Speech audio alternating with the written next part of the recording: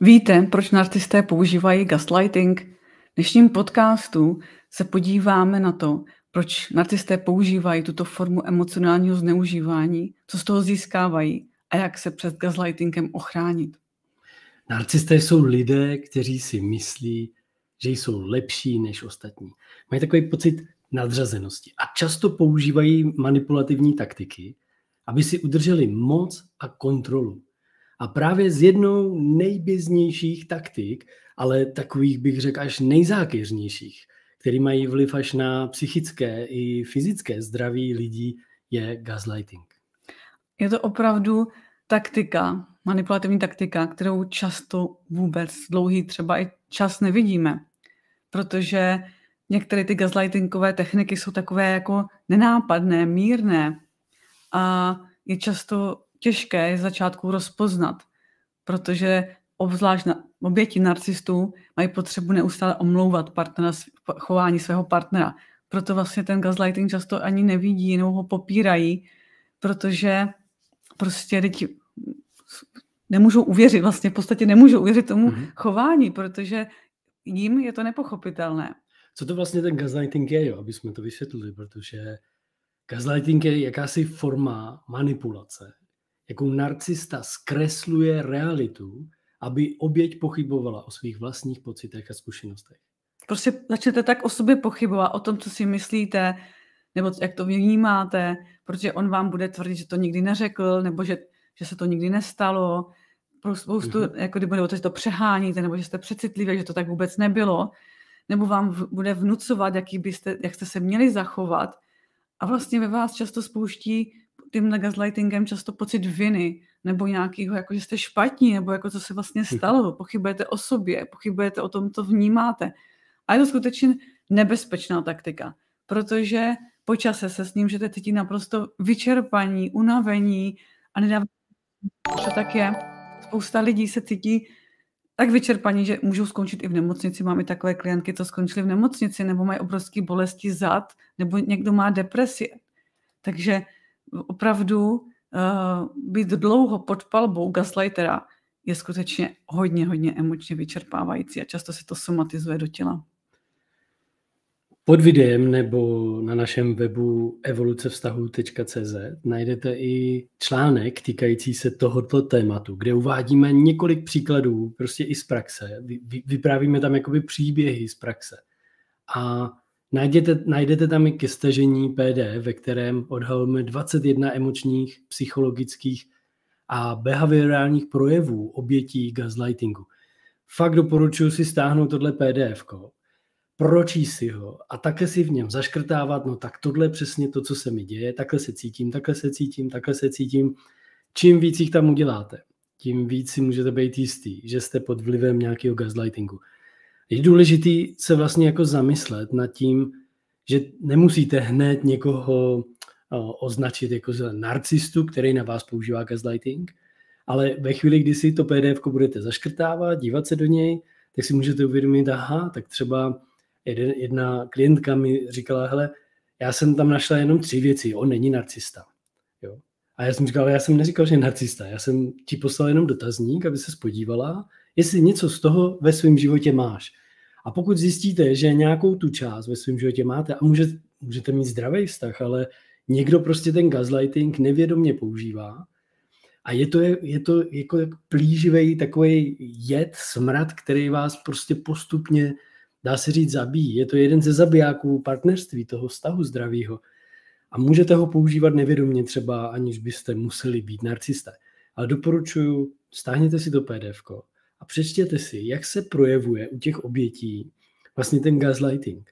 Je to velmi důležitý bod a uvidíte, že velmi často je gaslighting přítomen v práci, v podnikání, od ředitelů, manažérů, jak prostě neustále oni si myslí třeba, že díky tady tomu v vozovkách gaslightingu vy budete mít větší výkon, vy budete lepší lidé, Oni to dělají do, v dobré víře. A v téhle dobré víře to často používají i rodiče na své děti.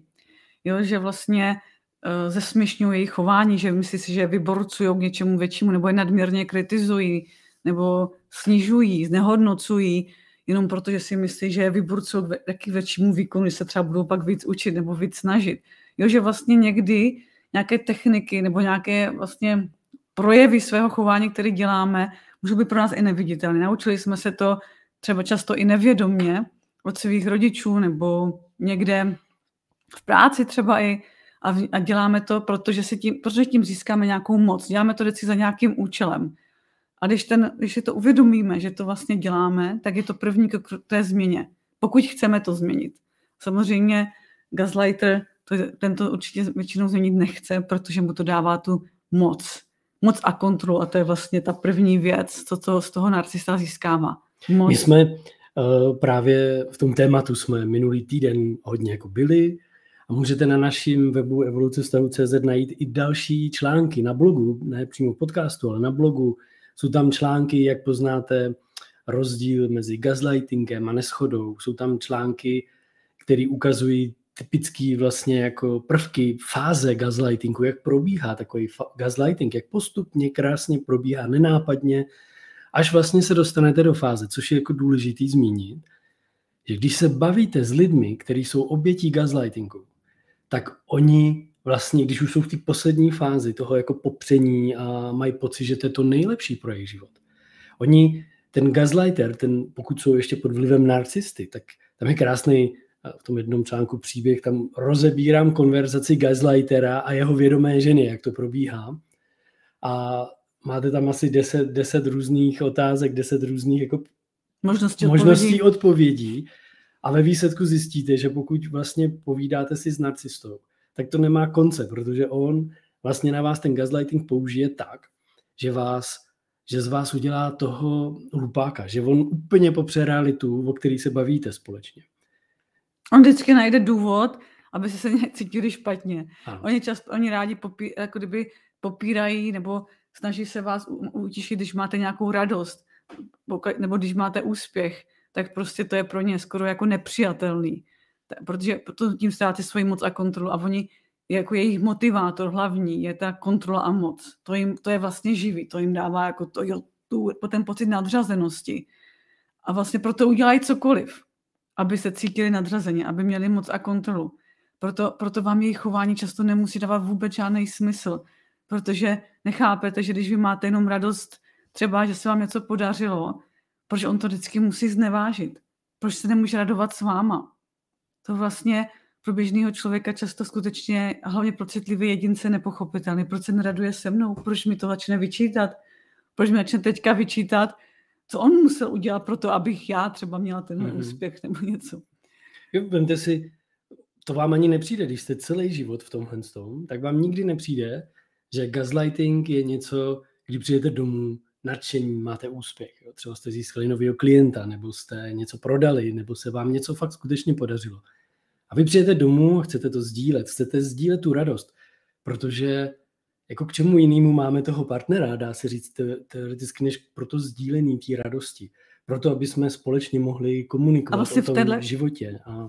V této chvíli tam hráme tu podporu, že jo? Vlastně tu, ano. jako tu podporu v tom, že to sdílíme spolu.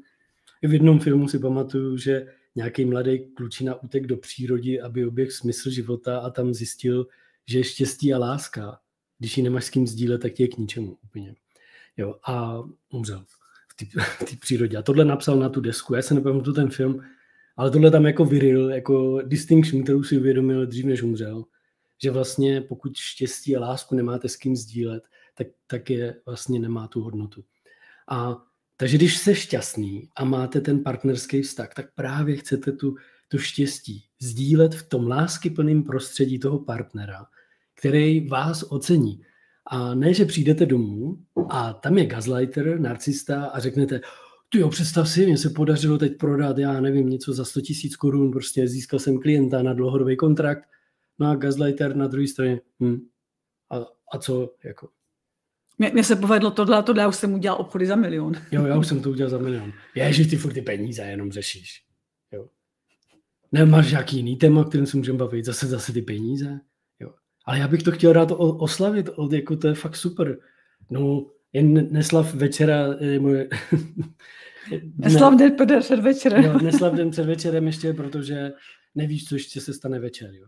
A tohle, tohle je nenápadný, když vlastně cílem toho gazlightera, toho narcisty je přimět oběť, aby spochybnila svou vlastní realitu. A svoji hodnotu. Hodnotu. A byla závislá na tom gazlighterovi. Jo, jinými slovy, jako vy můžete třeba jako žena nebo muž přijít s tím nadšením a on vám ukáže, no konečně. A zapomněla jsi taky na to, že já jsem ty poslední tři měsíce, kdy si nezískala klienta žádného, jsem musel tady dělat doma něco. Jo? Musel a nebo jsem se starat. Jako. Teď jsem musel být děti třeba. Ano. Takže vám to úplně, úplně vám pokřiví tu realitu, kdy vy vlastně ve vás, místo toho, aby byla ta radost, tak on vám vlastně spochybní tu vaší vlastní realitu. A vlastně tam vznikne pocit viny často. Viny, nebo zase sem se cítíte špatně, poníženě. Prostě je to nepříjemný. Takže mi přijete z radosti domů a za chvilku se cítíte špatně, poníženě, skoro jo. méně ceně nebo nedostatečně. A tím ten narcista, ten gaslighter, získává takový tři základní věci. Co jsou ty tři důvody, proč vlastně ty lidé to dělají? Proč oni potřebují dělat gaslighting? My jsme se v minulých podcastech bavili o tom, kdo je to ten narcista, co dělají, jako co, co mají ty důvody, jak to vypadá v té realitě. A právě ten gaslighting je to jedna z technik, které používají. A tahle technika jim umožňuje vlastně získat za prvý jako mít moc a kontrolu nad tou situací. Jo, vy, když přicházíte nadšený, šťastný, nebo chcete něco sdílet, nějakou realitu takovou, která se děje kolem vás, tak oni tím, že ji pokřiví, předělají, vytvoří iluzi té reality úplně jiný, tak tím získávají jakousi moc a kontrolu nad tou situací. Že moc a kontrola je ta první věc, co tím získávají. A vlastně další věc je potom unik z odpovědnosti. Protože oni neradi jsou za něco odpovědní. Oni se tomu radši hmm. vyhnou. Oni vlastně radši ze všeho obviní vás. A všechny problémy vždycky můžete vy. On ten problém buď nemá, anebo jste ho způsobili vy. Takže vlastně o, to, s, tomu získá, s tím gaslightingem získáváte ten odstup, únik z té odpovědnosti protože on přece nedělá chyby. On, on ví, jak to se dělá nejlíp. Jo, takže oni dokážou přesvědčit kohokoliv, že oni to ví, jak je to správně, jenom vy jste zmatení, nebo jenom vy nevíte, jak je to správně. Protože oni, mm-hmm. oni v té pocity nadřazenosti jasně to přece vědí. Kdybyste je následovali, tak by, to, tak by se byli tam, jak on říkal. Tam je důležitý, a to je dá se říct, jako až šílený, ale když si uvědomíte, kdo má kolem sebe narcistu, nebo má ho v práci, nebo kdekoliv, tak když se s těmi lidmi budete bavit, já mám velmi zkušenosti jako z toho pracovního i prostředí, tak zjistíte, že ty, že ty narcisté vlastně na těch vrcholových pozicích, že na ně není jako spolehnutí, že oni nedodržují slovo, nejsou v integritě. To znamená, že to, co říkají, se v realitě nikde nenachází. Oni nedodrží svý slovo v době, kdy má být splněno, ale vytvoří kolem toho tolik jako povídaček, tolik manipulativních alží, věcí často. a lží, že vlastně vy, vy jako čekáte a říkáte si, aha, ono to asi přijde teda příští týden už. Že vy řeknete, vy jste, vy jste třeba ještě neposlal šéfe tady tu zprávu, na který jsme se dohodli před týdnem, jo. A on, z vás udělá nejdřív blbce, popře realitu, že to všechno už dávno řekl, že to je jasný, jak to bude, že, on, že jestli vy to nevíte, že jsem to odeslal, tak pravděpodobně nečtete e-maily, to řekne před vedením, před ostatními. Vy teda dejte jako tupec, jdete zpátky do, kanceláře, hledáte ty e-maily, říkáte, já ho asi nemám, a teď hledáte ten důvod vlastně, co se stalo, jako on tam ze mě udělal úplně pitomce, já jsem ten e-mail nedostal, možná jsem ho přehlíd, Jo, pokud jste ještě člověk, který je extrovertní, tak často má jakýsi chaos kolem sebe. A protože vám celý život někdo dával najevo, že jste jako takový chaotický roztříšení, tak si řeknete, že budu mlčet, fakt jsem asi přehlí ten e-mail. No ale pak zjistíte, že za váma někdo přijde a řekne vám, no on to fakt ještě neposlal. Jo. Ale na té poradě vás totálně vlastně pokřivil tu realitu. A vy když teda jako poukážete na to, tak přijde smršť různých dalších nacistických kampaní, aby dokázal, jak vy jste neschopní. A to je ten únik tý od, z té odpovědnosti. Proto oni budou na vás útočit neustále ze všech stran, vytvářet strategie techniky gaslightingu. Ty jinými slovy, pořád vám říkat, že tu realitu vidíte špatně. To není tak špatný. A, a takový drobný lži tam jsou často, takový ty uvozovkách nevinný lži. Jo, že, že vlastně to na první pohled ani nevypadá, že lže. Jo, ale vlastně pak, když, když se na to podíváte opravdově, tak zjistíte, že si často vymýšlí a lže a pokřivuje to jenom, aby to bylo podle něho, aby on měl tu zase tu kontrolu a moc. Takže... No a tím třetím důvodem, proč narcisté dělají gaslighting, a ten je úplně fakt jako ten základní, proč vůbec narcisté je narcistou, a to je to, že to jsou uh, malí chlapeci ve velkých kalhotech. Jsou to dospělí lidé, kteří jsou vnitřně si tak nevěří a nemají, tak, nemají to sebevědomí. A oni tím gaslightingem vlastně skrývají tu svoji křehkost a nejistotu. No. Křehkost a toho malého chlapečka, který se bojí, aby nebyl prozrazen, že si tak nevěří a bojí se. Proto tak urputně chtějí být na těch nejvyšších pozicích, protože tam se můžou jako skrýt v těch velkých kalhotech. Protože ty ostatní lidé, díky té jejich pozici a titulu, a já vždycky říkám, že když jdu koučovat nějakého ředitele, tak říkám, já vám budu říkat to, co vám ostatní neříkají, nebo se bojí říct. A to je přesně ten důvod, proč jsou ty lidé na těch vrcholových pozicích, protože tam se přece tohle neříká šéfovi, anebo se bojím to říct šéfovi, protože no, když mu tohle řeknu, tak mě vyhodí možná. Možná přijdu o práci, možná budu mít peklo prostě.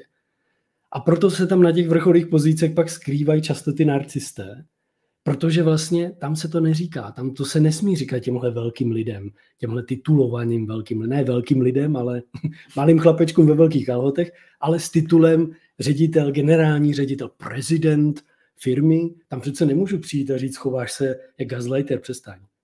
Ono, ono, ono, můžete, samozřejmě můžete. jsou, to můžou být i ženy, jo, ne, teďka mluvím o chlapečkách, můžou to být holčičky, ale podle všeho se ukazuje, že asi 80% nacistů jsou muži. Ne, není to číslo určitě úplně přesný, ale to, co jsme jako různě se dozvěděli, vyčetli a z naší zkušenosti. A tam je důležité si uvědomit, že vlastně oni skutečně jsou vevnitř nejistí a křehcí. To jejich sebevědomí je hodně nízké a oni to zakrývají právě tímhle gaslightingem, ale pokud s narcistou žijete, tak to často i vidíte, že, že není úplně sebevědomý, že má spoustu vnitřních pochybností, třeba padne i do smutku, litosti nebo nějaké deprese. Jak jsme se už o tom bavili, používá často trik z lítostí. A ten trik z lítostí je zase proto, abyste ho litovali, aby měl zase tu moc. No, takže je to zase ta moc, protože on chce mít moc. A když, když, se to, když mu na to chvilku poslouží to, že je chudáček, tak to taky využije. A to, a to je právě to, proč potom často ty partneři těch narcistů je omlouvají. Ale on to fakt měl těžké, měl těžké dětství, nebo on, jo, a bohužel často měli opravdu, opravdu těžké dětství, ale vlastně to je neomlouvá k tomu, aby se k vám chovali hnusně. To je neomlouvá k tomu, abyste museli prožívat to, co prožíváte. A vlastně ani Vás to neomlouvá. Aby s váma manipulovali. Přesně tak. A vás to vlastně, a vlastně by neměla se omlouvat k tomu, že s nima musíte za každou cenu zůstat. Protože ano, možná trpí vnitřně, ale vy nejste zodpovědní za jeho pocity, vy nejste zodpovědní za to, jak on se chová, vy jste zodpovědní pouze za svůj život a potřeba je se podívat na to, jaký život chcete žít, jak se v něm chcete cítit.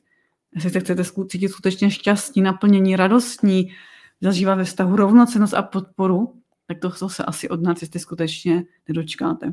No a co teda jako s tím vlastně, když zjistíte, že pravděpodobně až téměř jste, když si uděláte ten test, to PDF si stáhnete, tam si začnete škrtat a řeknete, no, tak takhle se přesně cítím, takhle, takhle, takhle.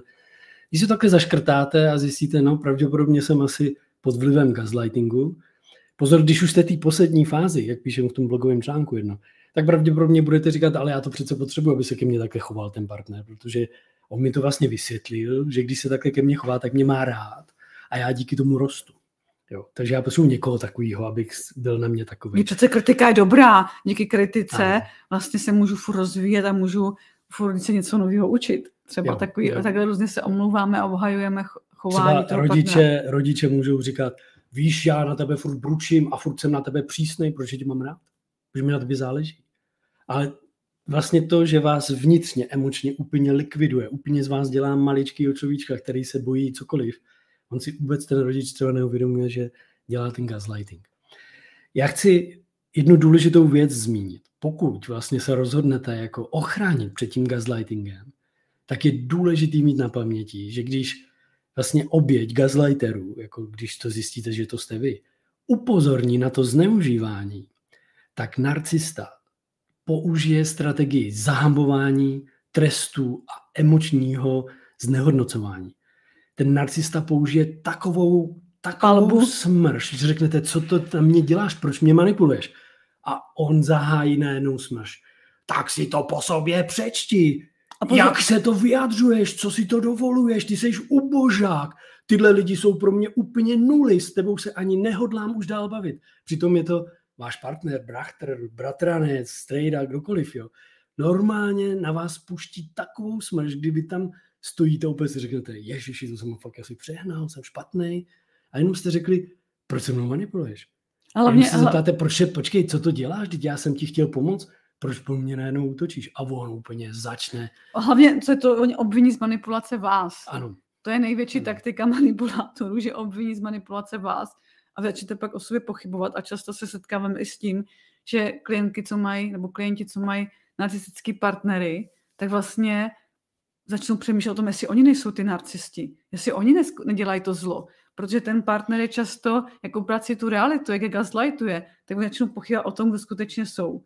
A vlastně tím, že nemají potom vlastně pořádně úsudek a oni obvinuje z toho, většinou narcista obvinuje vás z toho, co on dělá, co by vás ani nenapadlo dělat. A tím najednou začnete pochybovat o sobě, protože opakovaná lež se stane pro vás často pravdou, proto je to tak účinný. Když na vás někdo dlouho říká furt to stejný, tak vy tomu nakonec uvěříte, protože pro ten mozek už je to spíš úleva tomu uvěřit, než tomu neustále čelit. Většina, většina lidí, vlastně, se kterými jsme pracovali, řekli, že prožívají obrovské množství strachu, úzkosti, pochybnosti o sobě samém a takzvaný jako kognitivní disonance. Oni vlastně ty lidé prožívají obrovský vnitřní vlastně jako nesoulad. Jo. To je, vy, vy jako uh, ty zkušenosti, co máme, tak žena nebo muž, který dřív byli sebejistý, jo, prostě vystupovali, byli úspěšní, pak jsou pod vlivem gaslightingu, pod vlivem narcisty a najednou je potkáte za pět, deset let a oni, oni to jsou lidé, kteří jsou úzkostní, schovaní, jo, vůbec ne, už, už nepřednáší, už nic nedělají a nejsou ani úspěšní, najednou se jim nedaří, jo, nebo jsou na takový hlenici, kdy nemůžou překročit nějaký úspěch, kdy, protože pokaždý, když třeba udělají přednášku, jo, dám, dám příklad, udělají přednášku pro 200 lidí, tak doma místo toho, aby dostali ocenění a tak pojď, pojď co, co bys mohla udělat, abys měla 500 lidí? Ne, tak tam přijde 200, co to je? Podívej, co se stalo kolem, ale to vůbec nestojí ani za to příště. To už jako nechci zažít znova těch 200. Podívej, já jsem kvůli tomu tady nespal a tohle a ble, ble, ble a já jsem musel tamto. Počkej, až budeš úspěšná aspoň jak já. Jo, až budeš vydělávat milion a ne tady tady. Kolik dostala za těch 200? Cože, 20 tisíc, jo. No, tak to jsme, to jsem mohl radši jít pracovat a udělat zakázku jednou. Jo.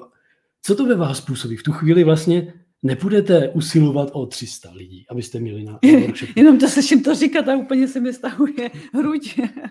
vlastně, vlastně to je, jako kdyby vyvolá ve vás pocit, to je jako kdyby to, že jste špatní, méně cení.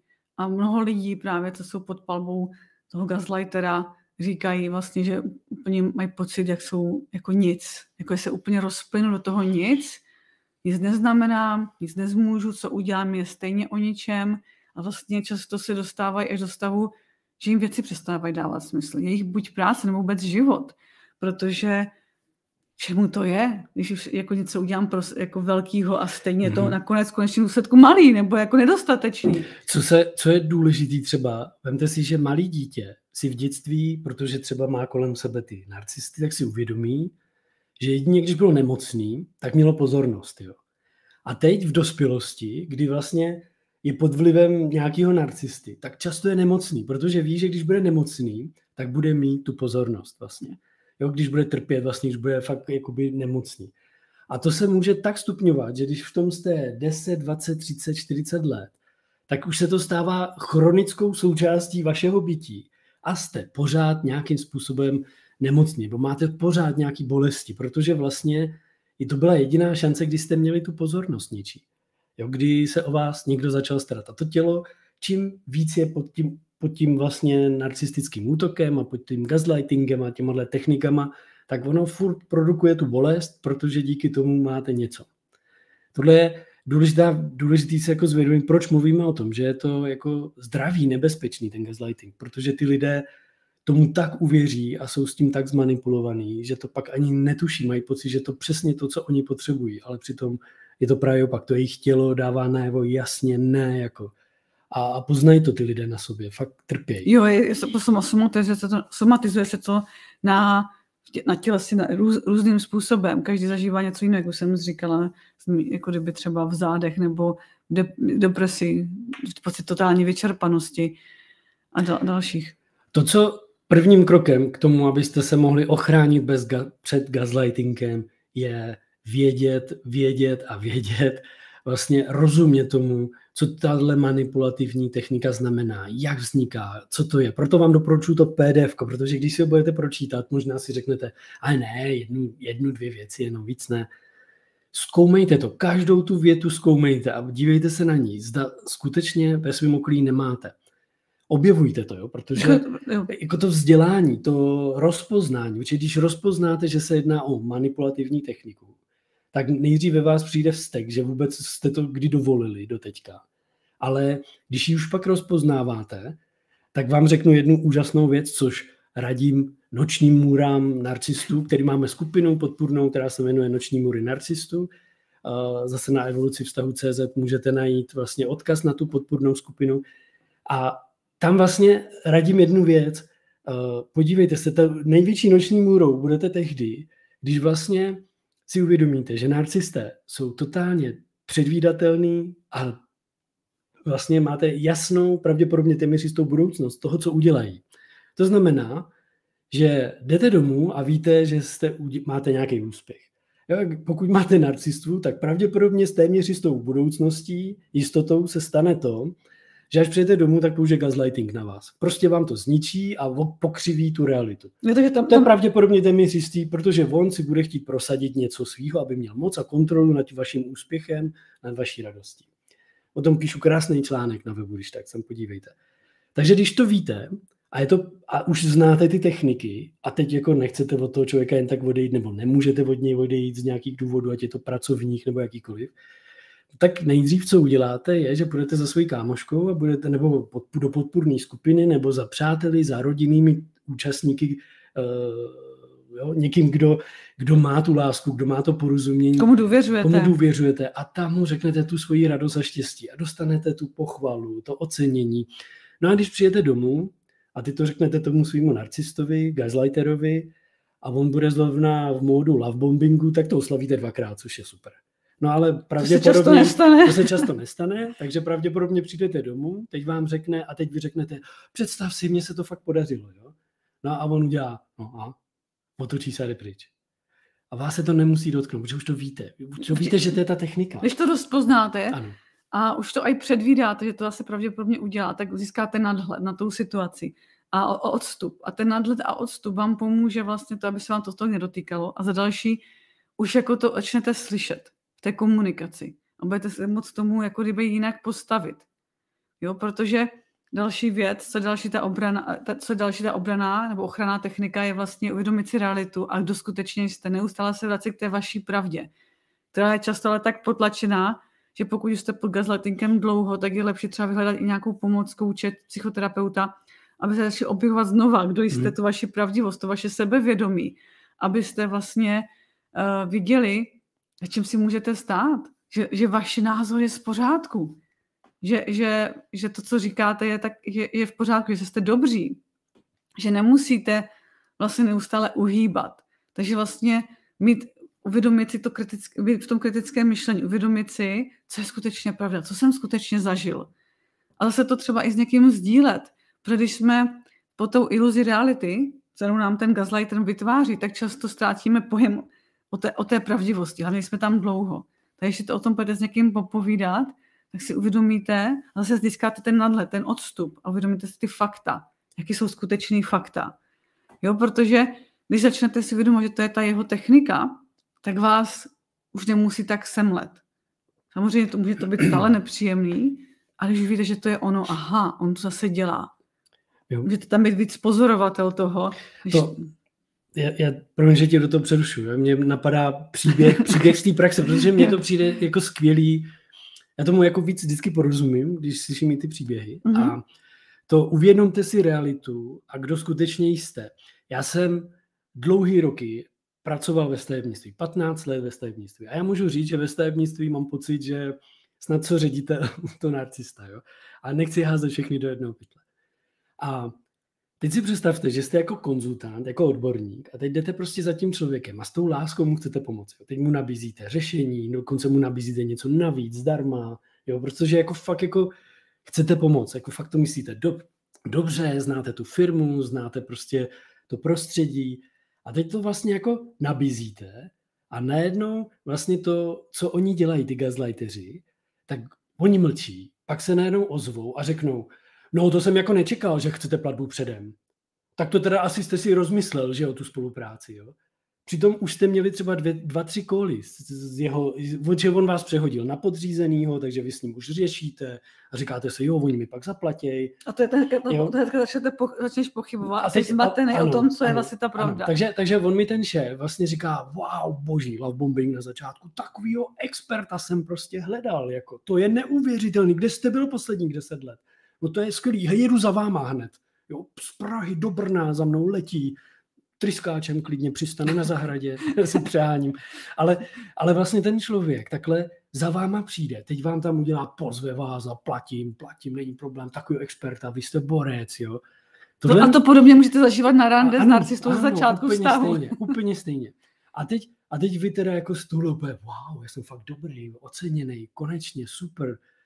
Přehodí vás na podřízenýho, s ním začnete jednat, teď začnete rozdávat, protože vás oceňoval a najednou přijde, cože, ty chceš platbu předem, jo, tak to si jako, kde žiješ, jako co si myslíš o sobě? Spochybňování, ty si, ty, ty si asi, tvé hodnoty. Ty a... jsi asi jako zapomněl, že jsi jako tady s jakou firmou se bavíš a ty jsi to asi rozmyslel, že jo, a tak dál.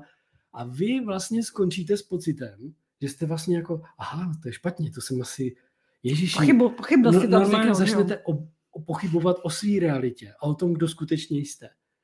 Vy, vy jste ten odborník, ten úspěšný člověk, který strávil 15 let studováním toho nejdůležitějšího na světě, nebo jste žena, nebo jste kdokoliv, který fakt miluje svoje děti, miluje partnera, všechno. A ten člověk vám tímhle gaslightingem vytvoří vlastně realitu, která není. Vy furt s láskou všechno děláte pro to, abyste mu pomohli. A najednou přijde takováhle reakce. Takže hele, už tohle s tebou řešit nebudu, to o tobě vůbec nechci tohle. Pojďme se bavit o jiném tématu. A Protože... začne drobit, já tomu říkat drobit chleba, jo? začne vám drobit, pojď, co školení, co bys dělal školení? A ty, oh, tak aspoň, aspoň něco, záchrana, aspoň školení, protože školení se platí předem. Jo? No a on vám začne drobit chlebíček o školení a vy, a vy najednou začnete další měsíc s ním vyjednávat o školení. A pak řeknete, tak pojď udělat to školení, ale udělá to stylem, mohl bys tenhle termín a vy furt jako čekáte, čekáte, jo, vy řeknete jo, a on čeká, čeká a tři dny před tím termínem řekne, uh, přijeď, platím ti hotel ještě. A jako, oh, když ani fakturu nemám zaplacenou, nic, jsme se dohodli, tak pošlete jako fakturu a řeknete, ale nemám zaplaceno, když vy jste jako nezaplatil. Prásk. Takže to nebude školy, tak mám rušit hotel, 20 lidí, který jsem pozval, jo.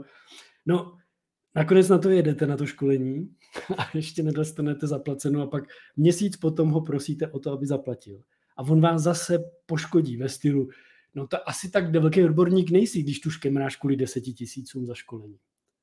A vy tak jako řekl jsem platba předem, měsíc po splatnosti a on mi řekne, že nejsem odborník, když tu škemrám o peníze. Normálně po chvilce začnete o sobě fakt pochybovat. Normálně začnete mít pocit, že nejste takový odborník, že to nemá smysl v tom oboru podnikat. Přitom ale pravdou je úplně něco jiného, jo? protože Pravdou je třeba to, že přijdete na konferenci a tam lidi vstanou ze sedačky a řeknou, uh, na pódium jsem neviděl pana Sázovský, on je tady, já bych se zeptal přímo pana Sázovský, protože bych potřeboval od něj odpověď. To je ta realita, ale tady ty lidé, ty, ty ředitele těch firm, ty narcisté, z vás udělají tohle. Já jsem ten příběh chtěl jako vyprávět, já jsem s tím byl neustále, jsem s tím v kontaktu vlastně napříč tím stavebnictvím. A dokonce to byl i důvod, proč jsem před eh, nějakýma pěti rokama začal přemýšlet, že odejdu, protože vlastně neustále ten gaslighting těch šéfů, těch, těch majitelů těch firm, který, a co seš jako za odborníka, máš na to papíry. A, a já vždycky jako, Ježiši, tak jako, kdybych vzal ty papíry teď, jako když na to nejsou žádný papíry, teď já jsem jeden z prvních, co to tady takhle dělá. Mám zase 15 let praxe, každodenně. Hlavně vysokou školu taky, že jo? Vysokou školu, hodně studování, jo. Tisíc, 1200 posudků za sebou zpracovat. Představte si někoho, kdo to tisíckrát udělá. Tisíckrát to po sobě udělá. A oni vám řeknou, a, co, a v čem jsi, jako, jak jsi odborník. A to je zase, to je jenom ta moc, jo spochybnění druhého člověka. On, on často, často o vás vůbec nemusí nic vidět, nebo naopak můžou vidět, jak jste výborní, jak jste odborníci, nebo jak jste úžasná máma, ale ano. i tak to bude spochybňovat. Přesně, aby měli tu moc, kontrolu a mohli vás vlastně jako dostat tam, kde chtějí. Aby, a oni tuhle hru hrajou se svými podřízenými, se svými kolegy a když, teď když jsem začal dělat toho CEO mentora, nebo teď už je to pár let dozadu, a konzultanta, tak vlastně, když se pak dostanete mezi ty lidi, mezi ty podřízený, do té firmy, tak najednou uslyšíte, jak vlastně všichni si na to stěžují. Jak všichni jako, se tam necítí. Já, já myslím, že není člověka, který, který by se nesetkal někdy s toxickým člověkem. Že vlastně, bohužel, tak jsme se už bavili v jednom z podcastů, zhruba 25% lidí je nějakým způsobem toxickým. A vlastně, takže když pokud se s tím setkáváte v životě, nebo to nedává smysl, tak je určitě dobrý se na to podívat aby, a naučit se co s tím, protože největší je věc, že často je ta povědomí o tom je tak malý, že lidi vlastně jsou z toho zmatení, ne, nechápou, co se jim děje a vlastně edukace, to, že to o tom začnete vidět, začnete vnímat, začnete to nově vnímat, ochráníte si svoje hranice, tak můžete získat ten nadhled, odstup. A, a další věc, jak vlastně, co se, jak se brali předtím na, na gaslightingem, je ta ochrana svých hranic. Neustále si ověřování svých faktů, dávat si čas na rozmyšlenou, uvědomit si, že, že jste v pořádku a mám, mám možnost si stojit za svými hranicema. Mm-hmm. Nemusím tam někoho pouštět, no. nemusím někomu no. sloužit. Vlastně vracet se k své, té své hodnotě a vlastně vyjadřovat, co skutečně chcete. Tohle je základ toho porozumět, uvědomit si svoji hodnotu, kdo jsem skutečně, a svoji realitu, že skutečně jsem člověk třeba, když řeknu za sebe těch 15 let z praxi, je 1200 posudkama za sebe, proč bych měl tady někomu dokazovat, jestli jsem dobrý, to nepotřebuju. Ale pokud vlastně narazíte na gaslightera, teď to už víte, už vlastně už umíte rozpoznat, uvědomujete si, kdo jste, tak vlastně si začít chránit ty svoje hranice. To není o tom, že si s ním nastavíte hranice, ale začněte si je chránit. To znamená, že vlastně začnete jako říkat, OK, chápu, že jste takový, ale já potřebuji platbu předem.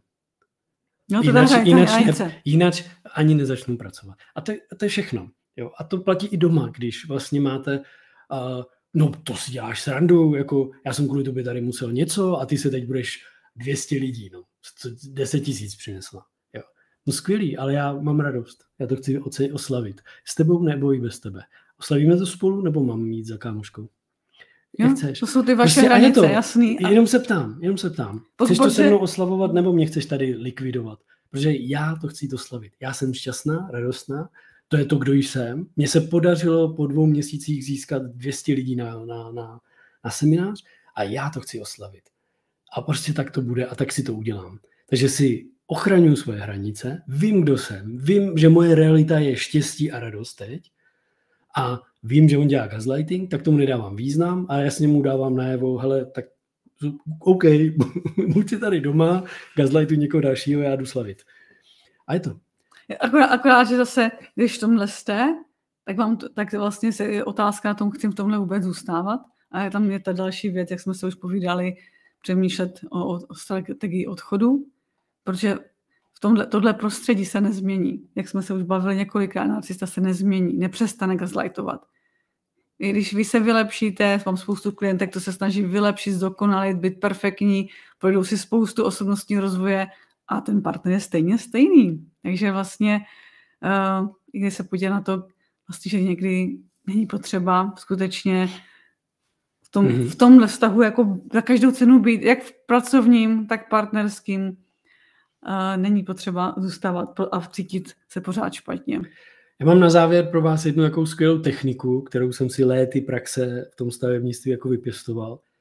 Že když vlastně jako cítíte jakýsi útok, nátlak, manipulaci nebo něco, tak je skvělá technika a tu používáme, když jako učíme ve firmách nebo i v rodinách, jak se bránit proti negat, subjektivnímu negativnímu hodnocení. Tak první otázkou je, když na vás někdo máš nějaký papíry, kde bych, to bych tomu mohl důvěřovat, tak první reakce je, uh, co byste chtěl vidět. Jo, tam je důležité vlastně si uvědomit, proč to, jinými slovy, jako proč to děláš, proč je konfrontační, ale co byste přesně chtěl vidět? Jak to vypadá? No, co tím chcete získat? Co tím chcete získat, když vám poskytnu tyhle věci, kdybyste je měl? Jo, a to samý doma. Jo, přijde a co, jako 200 lidí na, jo, a co byste chtěl vědět, vidět, jako, proč to, jako, co tě vede k tomu, že se mnou takhle teď mluvíš? Co, by, co potřebuješ? A on většinou tady ale vybuchne a začne no, to samozřejmě, to obvinovat a zdůvodňovat. Ano, on má ano, protože- argument, argumentace ano, jsou velice ano. dobří, jak jsme říkali Ano. na začátku. Ale když už to víte, tak je právě ten bod, OK, narazil jsem na gazlightera, narcistu, jdu pryč. A z té konverzace jdu pryč. A pak si můžete uvědomit, že vlastně jinou konverzaci téměř skoro s narcistou nemáte, než takovýhle konverzace. A pak je potřeba se začít chránit a přemýšlet na ten Pokud nejsou, přesně tak. Zajistit si, zajistit si peníze, zajistit si přátelé, podpůrný, podpůrný prostředí a začít o tom přemýšlet. Začít vlastně uvažovat, jak to udělat, jak se tomu chránit. Ve firmách se často děje i to, že, že vlastně ten člověk získá třeba prostor pro coaching, mentoring, aby mohl pracovat s tím, s tím manipulátorem a, a pracuje se na tom, jakoby, co s tím, jak, jak přežít vlastně v prostředí manipulátora a dosahovat svých výsledků a být úspěšný. A doma to je podobný, ale vlastně na rovinu jako narcisté prostě se nechtějí změnit. Oni jsou tak přesvědčení o své pravdě, o své dokonalosti a perfektnosti, že skutečně oni nepůjdou za psychologem, nepůjdou za, za nikým a když by za ním šli, tak z něj udělají toho největšího trotla a debila, který nic neumí a nezná. A nebo oni A tam kdyby budou, náhodou to byl fakt dobrý odborník, jo, tak za ním nepůjdou, protože řeknou, že je plný. a, a, ale oni za tam třeba i půjdou, ale vlastně spíš, aby si do- dokázali, že jsou v pořádku. Nebo, jako, že, nebo budou předstírat, nebo budou jako v tom love bombingu, nebo v tom, když mají pocit, že to, je toho partnerku nebo partneru ztrácí, tak oni klidně budou chodit na, na tu psychoterapeuta, aby ukázali, jako, že něco dělají. A teď je otázka, jestli tam skutečně chodí, nebo nechodí.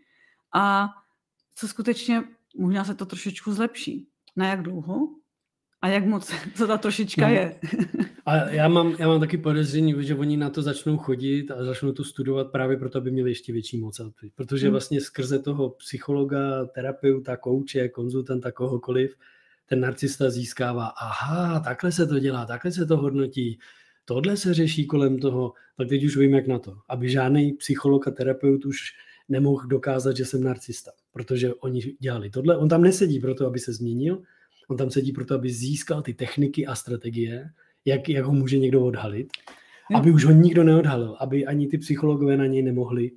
Aby Ale on se já jsem viděla jedno video, kde se ten narcista skutečně jako chtěl změnit, jako zašel, zašel za psychoterapeutkou, ale vlastně uh, se ukázalo, že to vlastně nejde.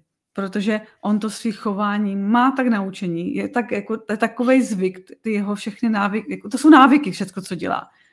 A vlastně uh, přetransformovat tyhle návyky je tak náročný, že to vlastně není možné. Že to se, se o tom poko- pokoušelo pár lidí, ale je to skoro bez, bez, jako prostě bezvýsledný, protože on, co mám dělat, když mě někdo brečí? Jako, jak on jak, jak má ty emoce jako potlačený a vůbec jako emoce pro něho jsou jako ne.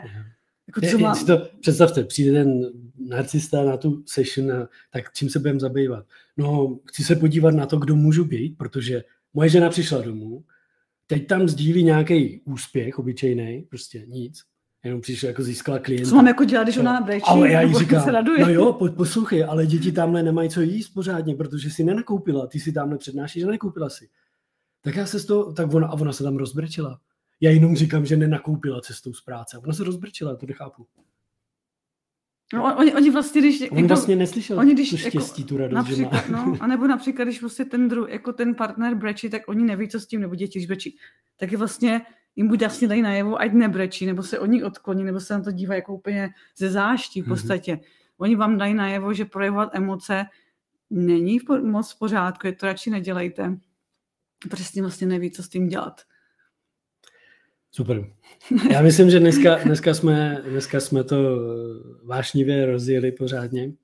A gaslighting je totiž téma a pojem, který, já bych řekl, že v České republice není zas tak moc známý. Není, jako úplně. Je tady mobbing, bossing, jo, tady ty věci, ale gaslighting je něco, co uh, minulý rok uh, slovo gaslighting vlastně bylo v Merriam-Websteru jedno z nejvyhledávanějších slovíček. A na, na vyhledávači vlastně odborných slov. A to je v roce 2022. Takže ne asi nadarmo se to začíná celosvětově vlastně tenhle pojem, tahle technika vlastně jako studovat, objevovat, protože se to děje ne na úrovni jenom manželství, práce, ale i vlád. Jo, vemte si, kdy vám někdo skutečně furt neustále dokola říká, že jsme ve válce. Přitom oficiální vyjádření války vypadá jinak. Ale nikdo vám to pořád dokola říká. A tohle je ta forma vlastně jakýsi gaslightingu. Jo? Kdy, vám manipuluje, ma, kdy vám někdo zkresluje realitu takovou, jaká vlastně není úplně. Jo? A lidé tomu du, du, začnou věřit. A začnou se za to prát a hájit, jo? Prostě a dělat všechno pro to, aby, aby to tak bylo. A tohle se děje na úrovni všech možných skupin a hodně se to probírá, hodně se o tom točí i filmy, v těch našich článcích najdete i odkazy na nějaké filmy, kde to je nádherně vidět, jak vypadá gaslighting, je to tam krásně jako zobrazený, takže si přečtěte články, studujte, v našem podcastu, vlastně na našem webu evoluce vztahu CZ najdete i odkaz na knížku, úžasnou knížku jedné autorky, která napsala vlastně čist, čistě knihu jenom o gaslighting efektu, točí kolem toho i podcast, sice to je v angličtině, ale dneska už ty pomocí robotu si to necháte přeložit do jakéhokoliv jazyka. Takže využijte, využijte možnosti objevovat tuhle techniku. Na rozpoznatý. Rozpoznatý vlastně. A hlavně ji rozpoznat, protože když ji rozpoznáte, tak se vás to nemusí tolik dotýkat. A víte, že se jedná o techniku někoho, kdo si nevěří, jo, kdo chce získat moc, chce získat moc a kontrolu jenom, protože si nevěří. Jo. A chce hodit odpovědnost na někoho jiného. A nechce mít odpovědnost za nic. Prostě. Takže vlastně, když už to víte, tak, tak můžete s tím krásně pracovat. A pokud máte kolem sebe narcistu nějakýho, tak eh, nesnažte si racionalizovat jejich chování, ale radši se staňte noční můrou narcisty.